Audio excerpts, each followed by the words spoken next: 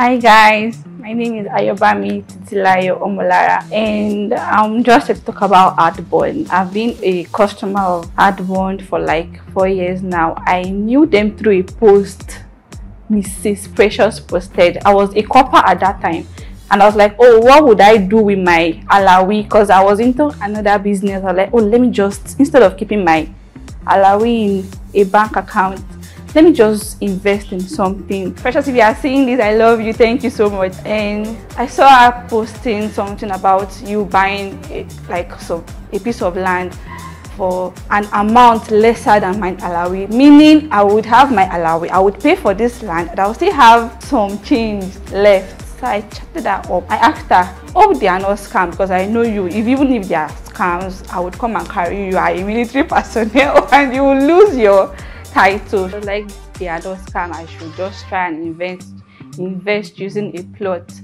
I was like, okay, no problem.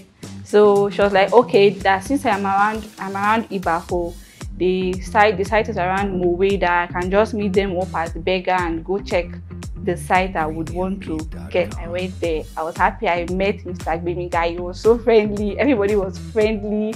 In fact, I was happy. Then I was like, oh, this one, I must pay for it. I gathered all my money. I intended in buying just a plot. I ended up buying five. I still cheap. I still talked to my brothers. They bought the one in Ibadan too. Like, fine that was how I knew Adbond. And since then, even my payment plan was very easy. No stress, even if you don't have for that month, just inform them early that, oh, I don't have this amount. Can I pay later? And you can even, it's not even a must. I I did not really follow the payment plan. My, my payment plan was like 20 something. Any amount I had, I put it in. Money from friends, money from my business, because what they were actually very good at keeping up with their um, customers. And I like what they do.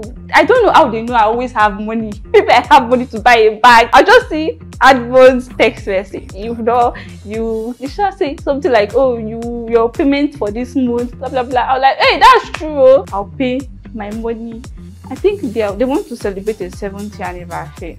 I'm so grateful for meeting Adbond. Thank you for making me a landowner at such a young age. And yes, I'm so glad that they had to use my face as the face of NYSC. It has been like that for the past four years. And wherever my friends, my family that are serving, they see my face, they're like, Lara, this is you. I said, yes, please buy it immediately they are buying so i'm so glad that yes they've never for once make me regret them using my face that oh they are scam or nothing. They are not. Their office is even near. I'm right here in their office. Thank you for giving me the opportunity to invest. Thank you for not making me lavish. Malawi i would use that word lavish because i i met people that lavish after two years. They're like ah Lara, that land you invested i want to buy it and i'll bring them. And i will still say it again mrs precious wherever you are thank you for making me a landowner and thank you for saying they are not scams because there are there are really there are really scams outside but Adbond is one of them.